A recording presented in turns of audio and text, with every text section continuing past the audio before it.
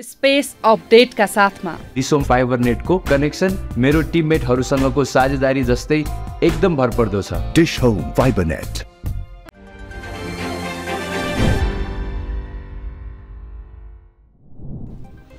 अविरल वर्षाले पहिरो खस्दा कालीगण्डकी कोरिडोर अवरुद्ध। सोमबार साँझदेखि परेको वर्षाका कारण पहिरो खस्दा राष्ट्रिय गौरवको आयोजना अन्तर्गतको कोरिडोर पूर्ण रूपमा अवरुद्ध भएको जानकारी। सडक अवरुद्ध हुँदा सदरमुकामसँग जोड्ने दक्षिण बागलुङको सिधा यातायात विच्छेद। गत साता पनि अवरुद्ध भएको सडक सोमबार दिउँसो सञ्चालनमा आएकोमा गैरातीको वर्षाले पुनः अवरुद्ध। कालीगण्डकी कोरिडोर अवरुद्ध भएपछि सयौँ यात्रुहरू मर्कामा। अविरल वर्षाका कारण त्रिभुवन अन्तर्राष्ट्रिय विमानस्थल प्रभावित बाक्लो पानी र हुस्सुका कारण विमानस्थलको भिजिबिलिटी कम हुँदा जहाज उडान तथा अवतरणमा समस्या खराब मौसमकै कारण केही जहाज अवतरण गर्न नसकेर आकाशमा नै होल्ड खराब मौसमकै कारण स्टानाबुलबाट काठमाडौँ आएको तुर्किस्तान एयर उतै डाइभर्ट फ्लाइ दुबई र डर्क एयर अवतरण गर्न नसकेर आकाशमा नै होल्ड खराब मौसम बाधक बन्दै। आन्दोलन चर्किएर बङ्गलादेशकी प्रधानमन्त्री शेख हसिनाले देश छाडेको घटनाबारे नेपालको केन्द्रीय सुरक्षा समितिमा छलफल। गृह मन्त्रालयमा आयोजित केन्द्रीय सुरक्षा समितिको बैठकमा गृहमन्त्री रमेश लेखक सचिव एकनारायण अरियाल आइजिपी वसन्त कुँवर सशस्त्रका आइजी राजु अरियाल र राष्ट्रिय अनुसन्धान विभागका प्रमुख भूतराज थापा सहभागी। सुरक्षा समितिमा बङ्गलादेशको आन्दोलनको असर नेपालमा पनि पर्न सक्ने आकलन गर्दै सीमा नाकामा कडाई सङ्क्रमणकालीन न्याय सम्बन्धी विधेयक टिआरसीबारे कार्यदल स्तरमा भएका सहमतिबारे प्रधानमन्त्री केपी शर्मा ओलीले लिए ब्रिफिङ। टिआरसी विधेयकमा सहमति जुटाउन गठित कार्यदलका सदस्य तथा सत्तारूढ दलका मुख्य सचेतक महेश बर्तौलासँग प्रधानमन्त्री ओलीद्वारा औपचारिक रूपमा ब्रिफिङ। टिआरसी विधेयकमा यसअघि दलहरू बीच रहेका असहमतिबारे साउन सत्र गते सरोकारवालाहरूसहित बसेको बैठकमा सहमति जुटेको दावी। सरकार सञ्चालनको आधार मानिने साझा कार्यक्रम सार्वजनिक नहुँदा डेलिभरीमा समस्या। संविधान संशोधनदेखि सुशासन कायमसम्मका एजेन्डा तय गरेका दलहरूले लिखित रूपमा साझा कार्यक्रम भने सार्वजनिक गर्न सकेनन्। गृह कार्य गरेर कार्यक्रम तय गरेकै हुनाले ढिला भएको सत्तापक्ष दलहरूको दावी। बङ्गलादेशमा रहेका नेपाली विद्यार्थीलाई सतर्कता अपनाउन बङ्गलादेश स्थित नेपाली राजदूतावासको आग्रह। कोटा विरोधी आन्दोलन पुनः हिंसात्मक बनेपछि दूतावासको सूचना। नेपाल फर्किन चाहनेलाई दूतावाससँग समन्वय गरेर सुरक्षा प्रबन्ध सुनिश्चित भएपछि मात्रै यात्रा गर्न अनुरोध।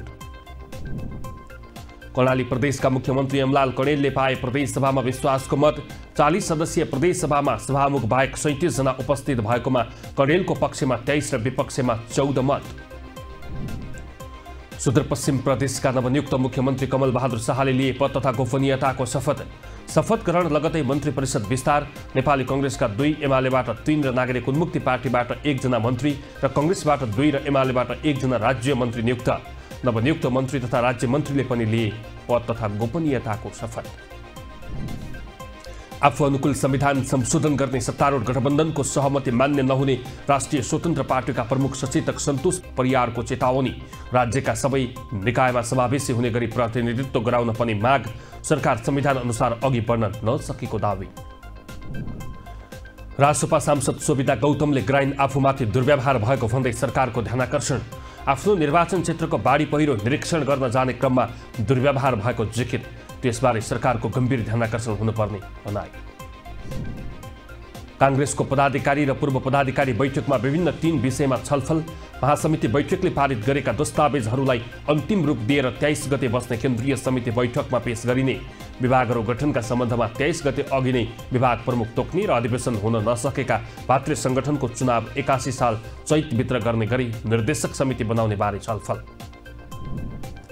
निर्माणाधीन काठमाडौँ तराई द्रुत मार्ग अन्तर्गत धेद्रे सुरुङ मार्गको ब्रेक थ्रु फुली सङ्दा निर्माण कम्पनीले निर्माण ठेक्का लिएको प्याकेज नम्बर दुईका सबै सुरुङ वारपार छिडियो।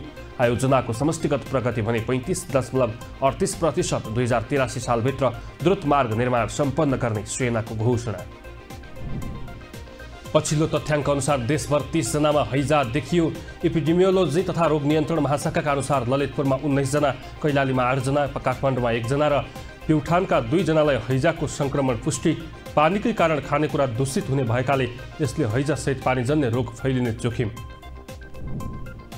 डेङ्गु सङ्क्रमणबाट एकजनाको मृत्यु इपिडेमियोलोजी तथा रोग नियन्त्रण महाशाखाका किटजन्य रोग शाखा अनुसार दुई हजार तिन सय पैँसठी जनामा सङ्क्रमण सतहत्तर जिल्लामध्ये त्रिहत्तर जिल्लामा डेङ्गु सङ्क्रमण फैलियो। सबैभन्दा बढी सङ्क्रमित काठमाडौँमा डेङ्गु रोगको सङ्क्रमण थप बढ्न सक्ने अनुमान। कुलपति समेत रहेका प्रधानमन्त्री केपी शर्मा ओलीले त्रिभुवन विश्वविद्यालयको नीति तथा कार्यक्रम रोकेकोमा विद्यार्थी सङ्गठनहरूको आपत्ति। चरणबद्ध विरोध कार्यक्रम सार्वजनिक साउन बाइस गतिदेखि त्रिविका आङ्गिक क्याम्पसमा विरोध ब्यानर राख्ने तेइस गति त्रिविका पदाधिकारीहरूसँग छलफल र ध्यानकर्षण गर्ने अठाइस गते संयुक्त अन्तर्क्रिया गर्ने। वाणिज्य ब्याङ्कहरूले गत आर्थिक वर्षमा चौसठी अर्ब सोह्र करोड रुपियाँ खुद नाफा कमाए। सञ्चालनमा रहेको बिस वाणिज्य बैङ्कहरूको नाफा अघिल्लो आर्थिक वर्षको सोही अवधिको तुलनामा तेह्र दशमलव चालिस प्रतिशत बढी। सबैभन्दा बढी नाफा कमाउनेमा नविल ब्याङ्क सबैभन्दा कम नाफा माछा फुक्से ब्याङ्कको कापा वुमन्स लिगमा फाइनल प्रवेशका लागि आज नेपालले इरानसँग खेल्दै खेल नेपाली समयअनुसार साँझ सवा पाँच बजे सुरु हुने। सेमी फाइनलको पहिलो खेलमा भारत र श्रीलङ्का भिड्ने हारको बदला लिँदै फाइनलमा स्थान सुरक्षित गर्नुपर्ने नेपाललाई चुनौती। विद्यार्थी आन्दोलन चर्किएपछि बङ्गलादेशी प्रधानमन्त्री शेख हसिनाले दिन राजिनामा। हसिना ढाका छोडेर भारत। प्रदर्शनमा उत्रिएका विद्यार्थी प्रधानमन्त्री निवास प्रवेश गरे। अन्तरिम सरकार बनाउने बङ्गलादेशका सेना प्रमुखको घोषणा हिंसा अन्त्य गर्न आग्रह।